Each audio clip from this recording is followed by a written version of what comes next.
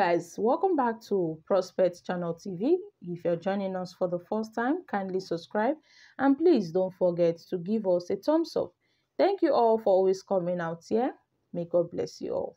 My country people, uh, there's a popular saying that uh, a prophet is not accepted in his own domain. Uh -huh.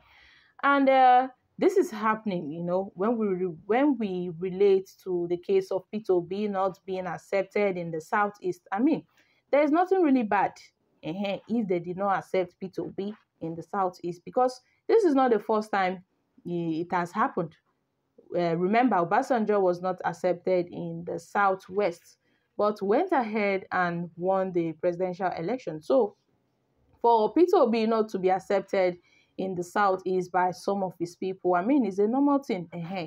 For Bible, they say they need to respect prophets for him hometown. Uh-huh. Even Jesus Christ, even our Lord Jesus Christ was not accepted, you know, by his people. Not to talk of ordinary uh, Peter Obi. So it is a normal thing.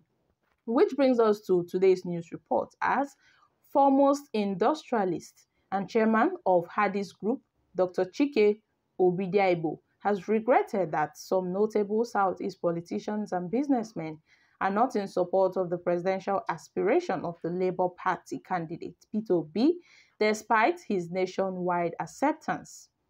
He noted that those who have started, pardon, who have stated their aversions to Obi were doing so for certain reasons. He noted that one of the reasons has to do with past political animosity and unmet expectations for Mubi during his tenure as Anambra State Governor. Dr. Chike recalled the startling statement issued by Governor Chukwuma Soludo in which he dismissed Obi's chances of clinching the presidency in the forthcoming polls, stating that it emanated more from the old political animosity than objective analysis. Dr. Chike, who was the consensus candidate of Anambra North Senatorial District, in, 2020, in 2013 governorship elections in the state said it was possible that Soludo had not forgotten his disqualifications by the All Progressive Grand Alliance APGA screening committee in 2013. In an interview with The Guardian, the industrialist said it is within Soludo's right to express his misgivings about Obi's presidential ambition, but this is a, like a payback for the 2013 episode in the build-up to APGA's governorship primary. I think the governor should learn from me because I deployed more than 5 billion naira in the campaign to ensure that the governorship ticket of Abga was zoned to Anambra North. He noted that the search for consensus candidates for my zone, which Peter Obi demanded, saw Obidigbo's emergence as the first choice and not Chief Willie Obiano, who was finally adopted as the preferred candidate by the party. My attitude to these things is that power comes from God. Since that experience, I have continued to plead with everybody to let bygones be bygones because there are things that are beyond human comprehension. I lost money, suffered personal and business challenges, but I don't hold anything against Obi. He, meant, he maintained the issues of competence, experience, and capacity, which place Obi above his rivals, are enough to command popular support from his home base, stressing that issues of fairness, justice, and equity, which Obi advanced in the agitation of zoning the governorship in Anambra, also favor him, my wonderful people. This is coming from Dr. Chike. Hmm. Well, we know that um, in the issues of, you know, this presidency and all, it's not everybody that is going to, you know, accept uh, Peter Obi for who he is. And uh, coming from his own people in the southeast region, some of them are not supporting Peter Obi for one reasons or the other. I don't really know why, but we see that so many other people in other regions in our country are really throwing their weight behind Peter Obi Meanwhile, in the southeast, we have the likes of Governor Chukwuma Soludo, who is saying that uh, he doesn't see Peter Obi as the president. Well, we, we know that uh, it is only time that will tell.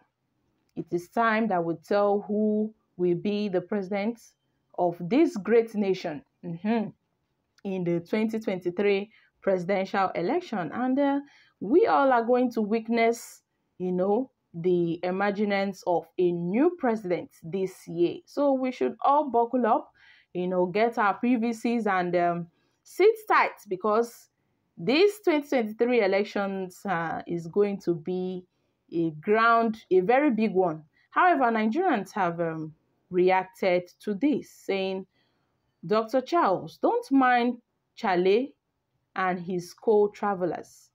I remember 2013 episode when Peter Obi begged and convinced Anambra leaders of thought on the need to allow Anambra North Senatorial Zone to produce next governor of the state come 2014.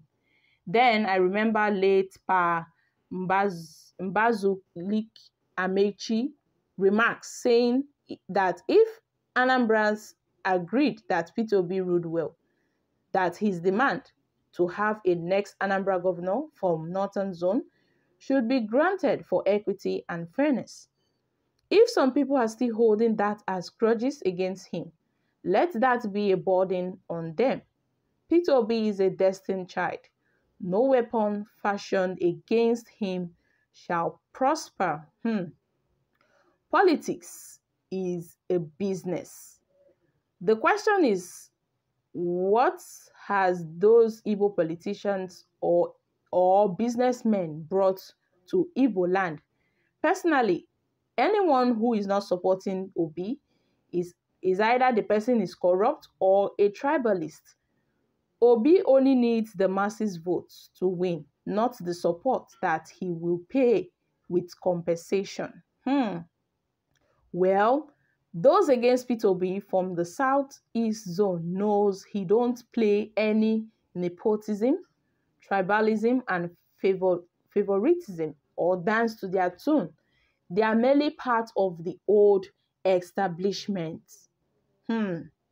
May God be with Peter Obi, bless and enthrone him to the presidential seat in, in February 2023. These are reactions from Nigerians, my wonderful people. We see what is happening, you know. These are uh, industrialist and the chairman of the Hardis group, Dr. Chike, is saying that uh, he has regretted that some notable Southeast politicians and businessmen are really not in support of the presidential aspiration of the Labour Party candidate, Peter Obi, despite his nationwide